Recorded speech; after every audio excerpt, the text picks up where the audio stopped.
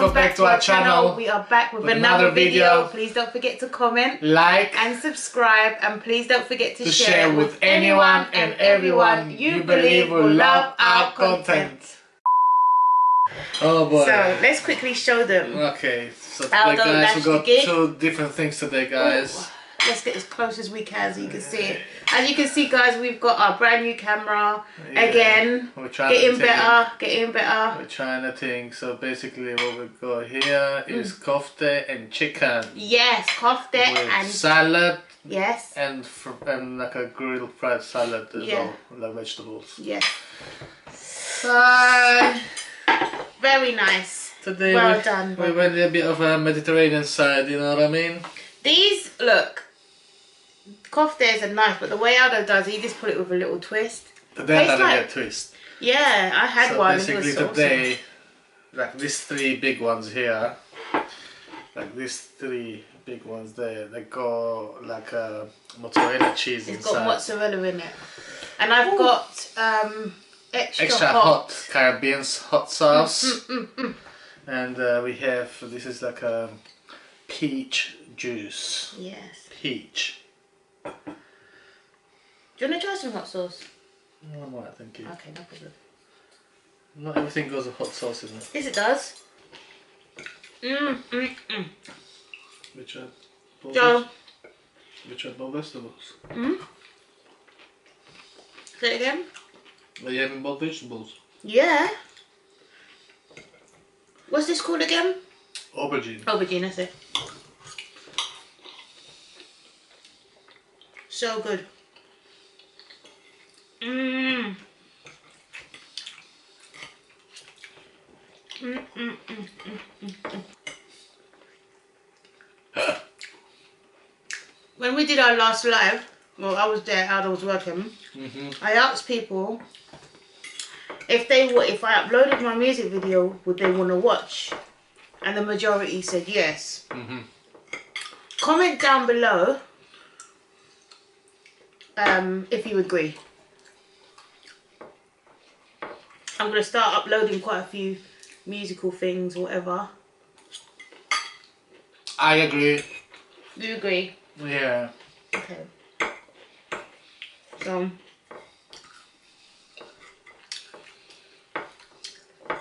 I will definitely do that. Food's banging. Mm. You, I should have had my own restaurant. You should. I heard um restaurants are really hard to maintain though.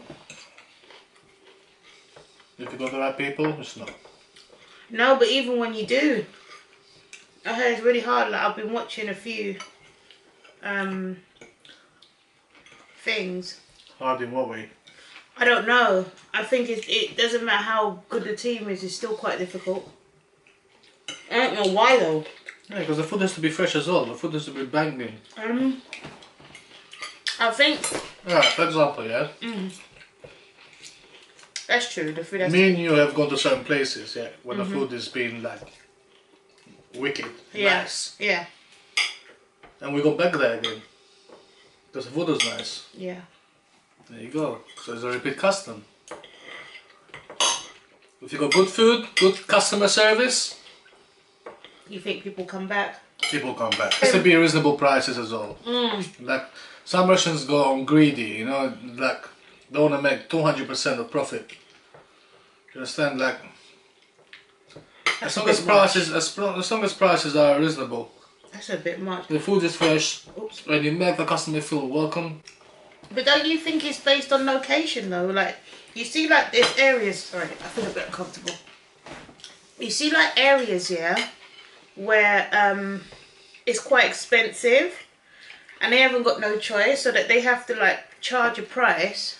I mean, it depends. It depends where your restaurant is located. Because obviously, if it's a restaurant lo- located in the central, you, you have to you, you have to really charge central prices because obviously the rent is different compared to certain areas. Yeah. But I'm not talking about essential. I'm talking about somewhere Yeah, but even local. local areas are charging an arm and a leg. There's so many come in and come with better prices. As long as you turn in a profit. Yeah, but that's what I'm saying. Like, until you know. So we're talking proper business, innit? No, yeah. But I was just saying, like, until you know, personally, that you know all the numbers of everything, like the calculation of everything, that will tell you how much you should sell your food for. Yeah. To break even, usually companies will do 60%.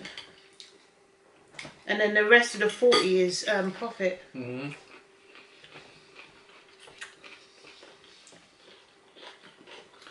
Like it's got to do with food. Location as well. I'm not saying location has nothing to do with it. But then again, like when people try your food and your food is banging and they come in again and again, it's and the quality gets even better. Yeah. It doesn't go down, just goes up. Yeah. People gonna talk. So when people talk, people will come. They get curious. They wanna try it. So when they try it and the food is the quality, like people are expressing, of course they're coming back.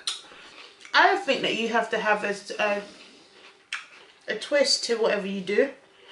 Always comes up come up with a twist. No, but I mean like, like you know, there's this. um How can I explain it? Like, you have to have a niche to your to anything, innit? Mhm. There has to be some sort of niche. Like, it can't be what everyone else is doing. I remember where, when I mean by niche, like there was this. um I think they're like it's like a family thing, and like they had um, chicken, but in the chicken it was stuffed with macaroni cheese, or it was stuffed with something, but you couldn't tell it was stuffed until you bit into it. Okay. Never And tried. have you not, never seen it? That's their niche. And what happened was it was like on those sort of um, motor. Mhm. What I was saying, I don't know what they're called, but like Yeah. these motor thing. And basically, based on that, they went. People filmed it, and then it went on to like Steve Harvey. I think it was on Steve Harvey or something like that. Mm-hmm. And it did really, really well. Yeah. You know, if you want to start something up, it's always good to start small. Yeah. Definitely. And That's less pressure. Way less pressure. This was so nice. I'm very happy that I had this. I had a little bit of that earlier and I had like about three. It was good, man. But I wanted this. Then she went back to the chicken. Mm-hmm. Because it takes longer to digest as well. Well, Red it didn't take longer to digest earlier on, did it? That's why I was like, I need to stop. It tastes like a burger, just in a bit different, a different way. And it's got different seasonings. It's good. I don't know, this was in my brain. Would you like another one? We sure. Yeah. Okay. Please tell me someone, I mean, certain cultures don't do it. But I know mine does. So Not that's mine. everybody. Does yours? Yeah. I know, I see All I hear is like the bone crack. Yep. and, Teeth the, hard. and the sucking. Okay, that's a bit far. That's it. That's my daddy now. Listen, Oh He's right. Gosh. he's got every right. He's got every right. There's to a bone look like binoculars in looking at food. Oh my god, that made me choke. he said binoculars, you know. I can't cope. I cannot cope. I cope. swear. Well, he's right. I saw, oh my god, I remember this girl, yeah. And her dad, I think she cooked oxtail. And um, the dad bit through the oxtail bone. Yeah. He bit. And I was just staring at him, my mouth open like, I was like, oh my god, your teeth. His teeth did not, you know, like, wow. I'm still baffled up to this day. Oh, that bone got boiled or cooked so good that it got softer. Uh-uh. Oh, his teeth are like crocodile teeth. Boy. Listen, those bones weren't soft because I had some.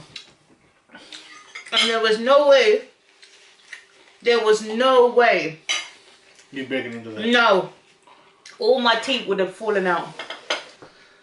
I'm, I'm actually thinking to do some like of one day like a lamb stew or something like that. Mm. With some vegetables inside and potatoes and carrots. Mm. Mm. And you have the lamb, you know, when the lamb is kind of, it's kind of cooked, kind of fried a little bit, yeah.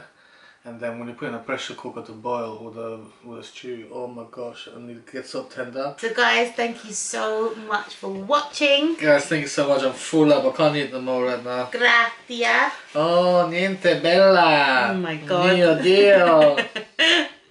thank you guys, and thank you for all the support that you have shown us, all the love and all the lovely messages. Yep. And uh, you know, we'll be keeping it up and bringing you different things all the time. Definitely.